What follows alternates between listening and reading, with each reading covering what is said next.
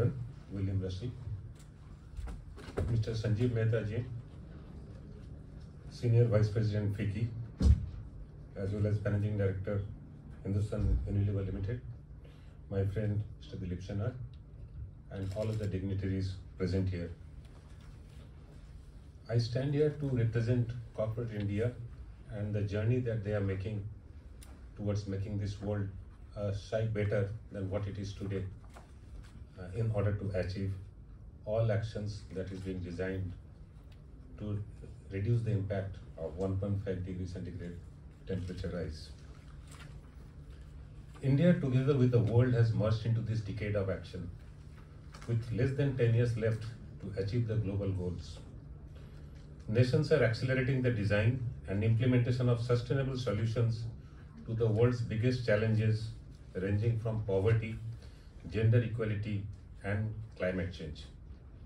Climate change is something which is real, and we are talking about this today as there is a certainty that the historical cumulative emissions are the sources of the current climate crisis which we are facing today. Alarms are rung across the globe with the latest IPCC report, which has flagged that India will face more irreversible impact of climate crisis. More real waves, rise in sea levels, intense and frequent cyclones, erratic weather patterns, and so on. We all have experienced in the recent timings the frequent floodings and landslide incidents, and it's not just in India, the entire world is facing the consequence of climate change. It's high time now that we need to come together to find out a solution which in a real sense will deliver the results expected by the Paris Climate Agreement. India is progressing successfully on nationally determined contributions NDCs submitted in 2015. Number one, an economy-wide emissions intensity reduction target of 33% to 35% below 2005 levels.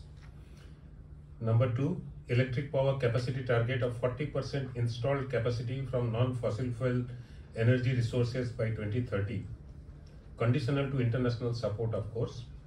And number three, creating a carbon sink expansion target of creating an additional or cumulative carbon sink of 2.5 to 3 billion tons through additional forest and tree cover by 2030. India's non-fossil fuel installed power capacity at 153.88 gigawatt is already 39.64% of the total installed capacity. India has already achieved a drop of 24% in the emissions intensity of its GDP compared to 2005 levels, which indicates India, that country is likely to exceed one of its elements of the NDCs. Our Prime Minister, Mr. Narendra Modi, in his recent address to United Nations General Assembly reiterated the India's ambition to install 450 gigawatt of renewable energy by 2030. Today, India is moving very fast towards the target of 450 gigawatt of renewable energy, and we are also in the campaign to make India the world's largest green hydrogen hub. The new bold vision is to make India the world's largest hub for green hydrogen, revamping of strategic clean energy partnerships with United States, launching the Forum for Decarbonization Transport in India, partnering in International Solar Alliance, 20% ethanol blending with fossil fuel will definitely further catalyze India's clean energy transition. While I am speaking about the number of Indian initiatives and achievements so far in the area of addressing climate change, I would also like to highlight the need of the hour, which is responsive, multinational approach and climate justice, in which all countries to take their fair share in responding to global climate change issues and require due consideration in principle of common but differentiated responsibility and respective capability, national priorities, circumstances and polluters pay. Developed countries has also to take a lead in sustainable financing, clean technology transfer and partnership and rest of the emerging economies will ramp up to their carbon neutral journey. there will be no climate justice without equality. Though India is the third largest emitter of greenhouse gases or contributing to 6.8% of the total global emissions, but we should also not forget that India's per capita emission is only one third of the global average and lowest amongst G20 countries. Considering energy access to all and GDP growth, it is expected that India will achieve its peak in the mid of next decade. The energy demand will also be going to double. We need to make India more energy secure with green energy. I personally feel to limit global warming to 1.5 degrees Celsius, net zero by 2050 will not work. One of the largest GHG emitters, China, has already committed to net zero by 2060. Now developed countries should come forward with stringent target that is net zero by 2030 or 2040 and IPCC should provide a different trajectory for developing or emerging countries. India should be able to achieve net zero in my opinion by 2070. From an industry perspective, we all are talking about shifting towards net zero by 2050, but who will be there to see these changes? Fulfillment of these commitments and 2050 will be too late. We all have to act now or it's never. There is no planet B. We have to push the ball harder to achieve the net zero by 2030.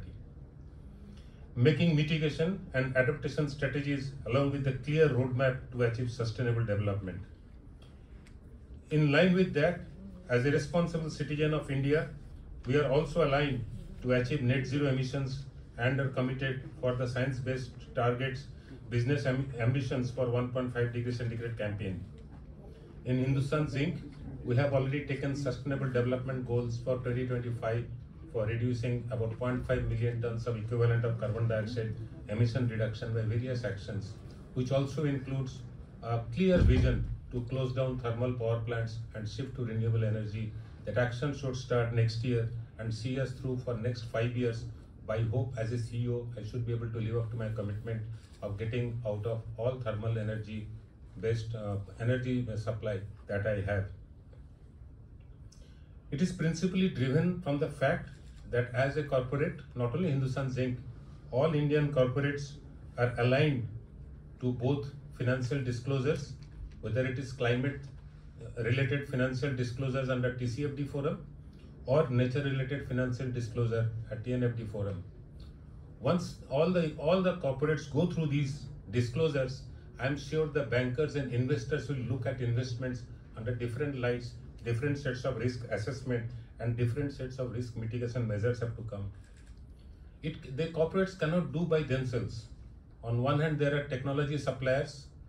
Management of change will be key in next five to six years.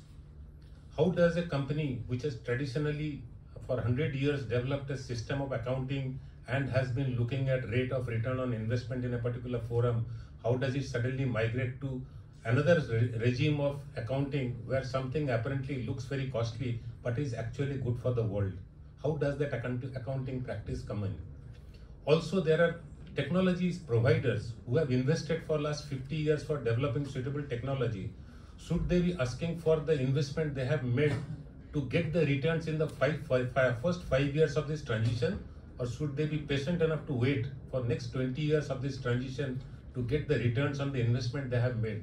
Because that is going to play the critical uh, impetus for decision making. Changing over to ev vehicles for a company like ours in a mining business is not so easy. Unless those who have invested in ev vehicles don't look to get the returns on all the investment that they have made in last 10 years in the first two years of the journey everybody needs to have patience in getting their money back on the investments they have made if we have to help each other transition this journey and make our uh, every company uh, successful in, in meeting its climate change obligations. I say these things because I see the tendency that it's not easy for an user to transition unless the providers or technology providers, suppliers, manufacturers are also playing the game in a sustainable manner when you don't look at returns in a uh, new form of economy in terms of 15% or 20% IRR, but you are you have to look at newer standards of calculating IRR on the projects that you do. Unless we do that, I don't think there will be enough of encouragement for all of us to move in that direction. at the same time, India has to, uh, through the corporates, has to work on water usage. It's just not only the CO2 emissions, it's also the usage of water which will determine whether India can um, fight the climate change um, incidents in that they are experiencing. And as a as a corp responsible corporate, we, we are already declared 2.41 times water positive, and I have a vision to make it five times water positive by 2030. And that makes it uh, difficult in the sense we have to come out of all uh, high water consumption processes and go to drier and more sustainable processes. And that requires investment. And again it comes back to technology supply from the developed countries who have access to the research work that they have done for last so many years. And they have to now part with that technology to the emerging countries who need to invest uh, money in that and then come out of this problem. Unless the bigger block of the world which is the emerging economies are allowed to successfully make this transition perhaps the dream of fighting the climate change of 1.5 degrees centigrade will be unreal. In my view for the long term decarbonization of india's economy all have to jointly work together. The paris agreement also discusses technological development and transfer of achieving the goals of the agreement. India has advocated the global collaboration on research and development. That's also an area I find uh, we need as an Indian corporate a lot of collaboration across the globe if we have to move faster in this journey. Western world has lots of technology, lots of resources, and we have a market. Looking at green economy not as a burden of change, but as an opportunity of the future. And that and the transition of the conventional work conventional skills into the green economy skills and the green economy engagement will be very key in the next 10 years for India. It's on one hand, we have huge reserves of coal, we have huge amount of thermal power. On the other hand, there is a call for renewable power. That transition of skill, transition of people is going to become very, very crucial if we have to succeed. And managing that change will also require mobilizing social energy, uh, fantastic political leadership as well as the corporates to live up to whatever they commit to the public in general. With that, being a very highly optim- very optimistic person that I am, I strongly believe India is going to see a huge impetus, a major change in the way Indian corporates consume energy in general. Overemphasis on thermal energy is going to be a thing of the past, and Indian corporates are going to be proud of themselves when they declare in all their annual reports along with that they have the carbon disclosure they have the financial risk dis- disclosure related to nature they will have financial dis- uh, risk disclosures related to climate and they will be there to tell uh, show the world that an emerging economy with full of contradictions and lot of social challenges one can make that journey very successfully. Thank you so much